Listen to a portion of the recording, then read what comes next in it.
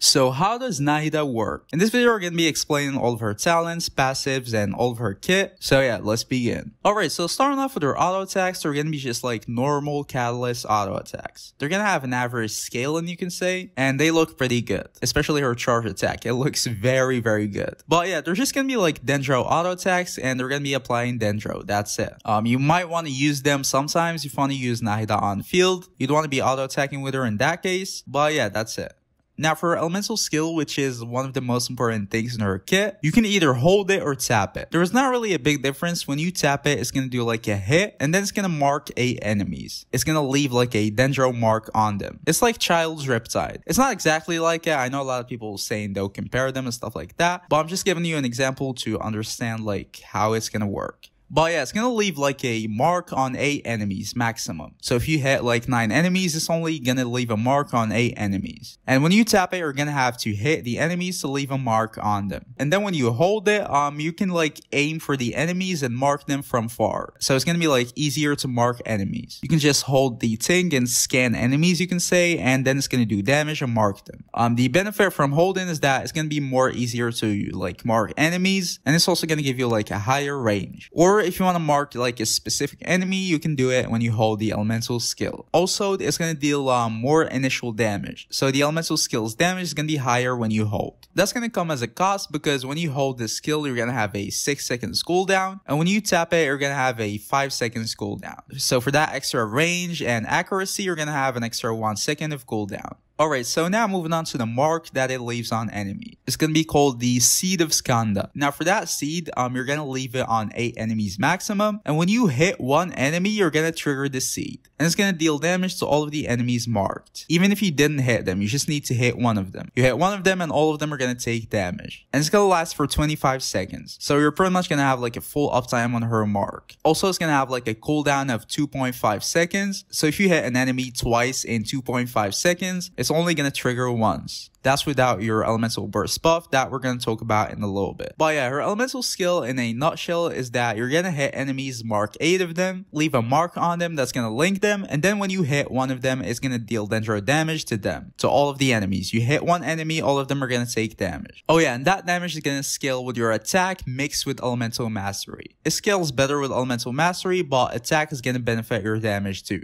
Now moving on to her elemental burst. Her elemental burst is going to create like a field and it's going to buff you based around the elements of your party members. It's not going to deal any damage of its own, but it's just going to buff your Nahida. So I'm going to explain the buffs very quick. So if you're using pyro characters, if you have one pyro, it's going to buff the damage from your elemental skills mark. So when you hit marked enemies, the damage that you get is going to be increased. At level 8, when you have one pyro character, the damage is going to be increased by 23%. And when you have two pyros, the damage is going to be increased by 35%. So that's pretty good. So as you guys can see, the damage bonus is not going to like double or anything like that. When you have one pyro, it's 23%. And when you have two pyros, it's not going to double. The damage increase is going to be 35% at level 8. So like the value per character is going to decrease. Now, when you're using one Electro on your team, at level 8, you remember the, um, like the cooldown I said before, it was 2.5 seconds for her like elemental skills mark. When you're using one Electro on your team, that cooldown is going to be decreased by 0.4 seconds. When you're using two Electros, that cooldown is going to be decreased by 0.6 seconds. So yeah, it's going to allow you to have like more hits from your elemental skills mark. And finally, when you have one Hydro on your team, it's going to increase the duration of your elemental burst. Um, at level 8, it's going to increase it by around like 5 seconds. And when you have two Hydros, it's going to increase it by around 8 seconds. I wouldn't really say it's that good because, you know, the uptime is generally pretty good in the first place,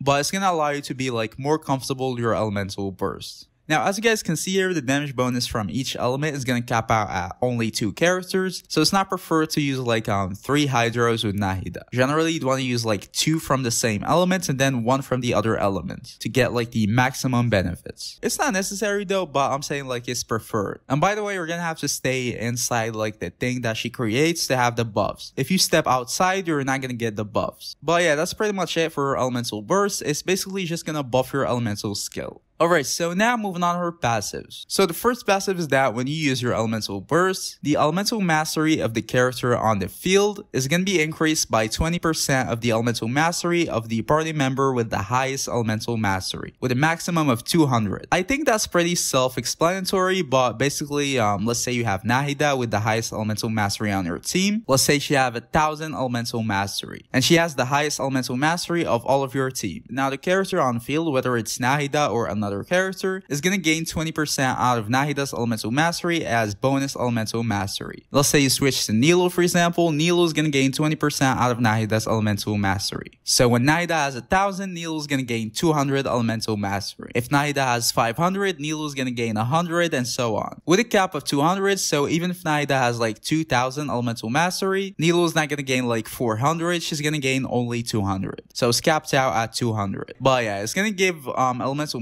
mastery from the highest elemental mastery on your team. If you're using like Kazuha on your team, he's probably gonna have the highest. So Nilou is gonna gain elemental mastery from Kazuha. That's just an example. So yeah, that's it for the first passive.